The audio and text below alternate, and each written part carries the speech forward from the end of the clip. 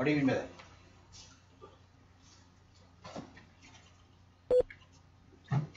I don't get it. Yeah. Is it, we are talking about reference? No, no, I- I'm, I'm talking about networking. I'm not talking about net numbers. Oh, We are still in network. I'm doing networking only today, right? My first topic, right? okay. So in networking, why we network? Because we want to share our files. That's one main reason. That is the main reason for networking, right? That is the purpose, main purpose, right? Based on that, we have other things, right? So I try to share something here, then this guy is accessing. Now I unshare that, and this guy is trying to access, then I'm getting a message, RPC program not registered. Now, I'm not saying like that, I, I will repeat it again. This is a server where something is shared. So this guy is accessing, no problem, right? But I'm going to another server. I'm trying to access a share, access something from there, from that server, and it's saying program not registered. Why? Why in this case it's saying program not registered? Because, because what? Because there should be a service running for you to share. if I have to share something, there should be a service running. Okay, you can't tell that to another machine. Why? The telnet service is Not running. running. You can't. You answered those questions, but why you didn't answer this? So basically the RPC service is not running. That service is not running. You made it sound as if something out of this world. There are so much suspense. So much suspense here doesn't look like. No, no. When you get this message, you may confuse. That's why. So the service has not started. Okay. In the case of Solaris 9, you have to start a service called NFS dot server. So you have to go to etc init.d nfs dot server start. Okay. So if it, if it is not happening, then this will not happen. But to start that service in Solaris 9, there are certain conditions. Right? There's a file called etc dfs dfs tab. We'll talk about that. That file has should have a valid entry. Right? We'll talk about that later. So all those problems you will understand. Oh, this is because of those problems. Right? Then you will recollect. So we'll talk about that. But now our problem is I want to introduce something called RPC. Okay? So your first the service RPC has to be up only then NFS works. No, no, not RPC. RPC is up by default in run level 2 in Solaris and in, uh, in multi-user level in uh, Solaris 10, right? Solaris 9, run level 2. RPC will be always running, right? right. Yeah. Uh, RPC, right? When it starts, it has an assistant called RPC bind. Okay? Have you heard about RPC bind? RPC will start a daemon. RPC, when it starts in run level 2 in Solaris and multi-user level in, uh, in uh, uh, Solaris 10, it will start RPC bind.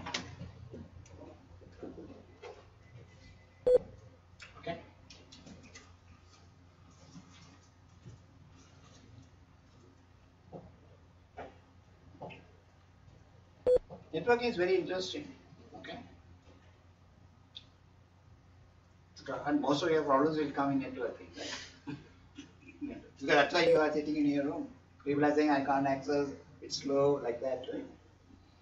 So if they anybody say RPC program did not register when I try to access the share, immediately you know what is the reason? No, no, Service is not- started. Why uh, service not started? Then you will know how to troubleshoot?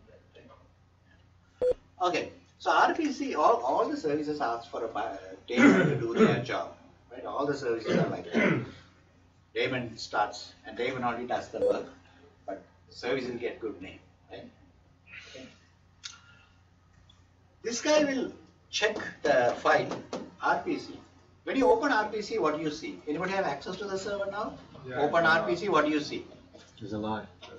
Yeah, but what, what are, what are the heading items? You get port numbers. That's port number, okay. You get port numbers there?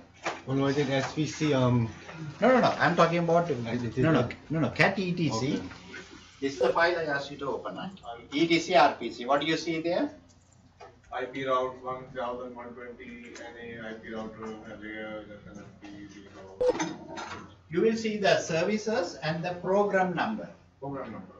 You see some services and the if, if, if all the all the programs have a program numbers, right? You see some program numbers and programs, right? Now you open another file called etc services. What do you see there?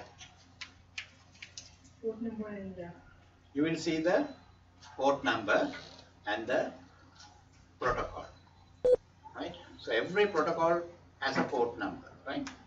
Why do we have port numbers? You have heard about port numbers. What is the port number for SSH? Telnet? Uh, FTP?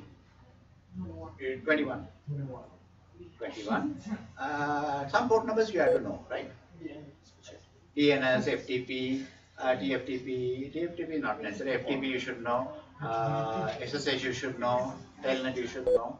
About five, six port numbers you should know, right? Because you may be using very often. Okay?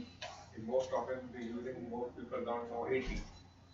Oh my Eight god. zero. Eight zero also important. That is for your HTML. HTTP.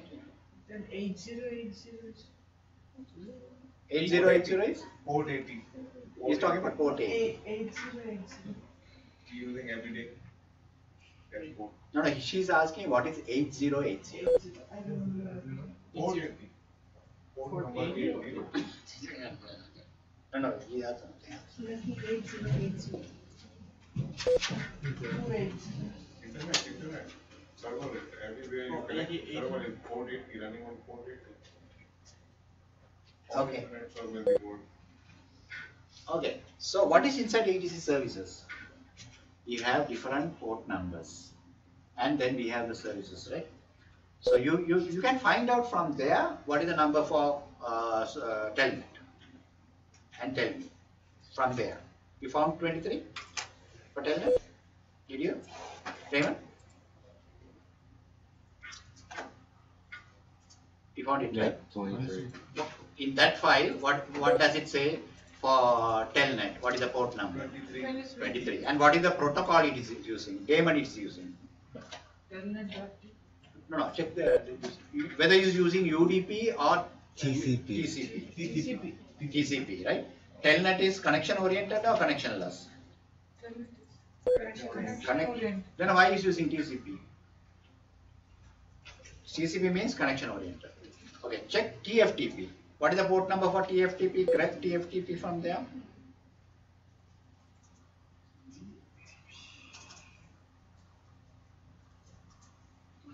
Sixty-nine. Yeah, so what is the, is it TCP or UDP? UDP. Yeah, UDP means connectionless or connection oriented? Connectionless. Connectionless. What is the difference between connectionless and connection oriented? No, no guarantee.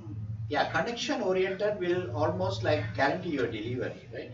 Connectionless, Get a message back. try my best type of delivery, okay? And lot of overhead on connection oriented. If you want to send a large, if you want to send a big chunk of data, you use connectionless or connection oriented? Connection oriented. Connection. oriented. Otherwise, that that will be broken into segments and you may lose some segments and your data cannot be assembled on the receiving side, right? So you like to send it by registered post, something like TCP, right? How many uh, communication, three-way communication, you know that, right? You say hello, he will say hello and identify, then you start three-way communication in TCP. So UDP is less overhead, so if you want to send small packets, UDP is okay? Because sequencing is done in TCP, because when I'm sending packets, uh, I won't send all the segments when I'm sending, I won't send all the segments in the correct order. I may send segment 5, segment 10, segment 2, segment 3. The receiving side should assemble it in the right order. TCP can do that, right? That's another reason we select TCP for that purpose, okay? Okay, so now we come to RPC. Somebody is coming and asking me for one service. Who is asking in this example? For this server, who is asking service? This guy. What service is asking? Uh, the File. file. Uh, file sharing service. Sharing. We assume file sharing service, right? And this guy, what action he will take now? Now, how, how will this guy know? Uh, my, my request is related to NFS. How, how will this guy know that? By by the gate, By the gate? fourth. Fourth, yeah. If, if I'm telnetting here, how will this guy know that somebody is telnetting to me? Because of the port. Because of the port. So now you know why we are using port. You can direct to a Yeah. So because this computer doesn't know, uh, oh, what is NFS, what is uh, Telnet, what is uh, SAP, new new application. How do I know the port number? Uh, how can I teach? Sorry, how do I know the application? How can I teach the server? Uh, this is SAP, this is Oracle, like that. I cannot, right? So I have I have to give a port number, and I have to tell this machine. If anybody knock on that door, that port number, then that is that guy. Okay. So how will I tell that? By updating this file. You understand that, right? You understand that? Okay. So now this is my NFS server. My my my server, any server.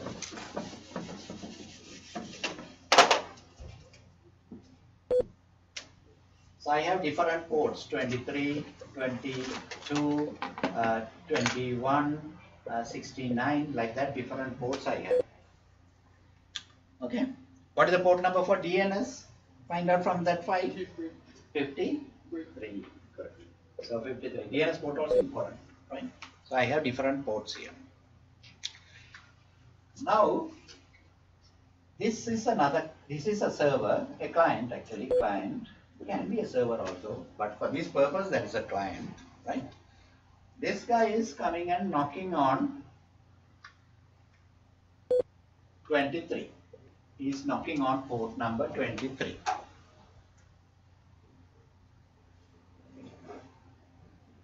Right? For this example, I don't have to use RPC for this example. I, I just took uh, Telnet and other things as examples, right? But for this purpose, I don't have to use RPC, right? We will use RPC in a few minutes later. First, I am using without RPC. This is without RPC, okay?